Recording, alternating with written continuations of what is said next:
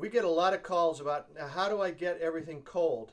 And we have on the market the smallest flash chiller available in North America. It's 16 by 16 and then leave another 16 inches of clearance at the top. It's actually uh, 9 inches to the top, but you're going to need to uh, bypass these tubes right here. The way a flash chiller works, the beverage comes in this coil, goes wrapping around, and then will come out of this uh, line here. So this is what's called a two-product flash chiller. If you're only going to pour one beverage, you could use both the in and the out for just the one beverage and double loop it like some people have been doing for years with cold plates.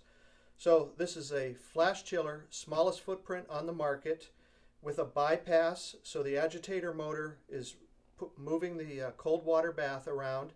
And for added coolness with our glycol cooled towers, if you want, you can take this bypass off and run the cold water bath up the tower. So it provides a couple of functions for you. It's very affordable, very sturdy, and almost as important, the smallest footprint on the market. This is David at kegman.net. Thanks for watching.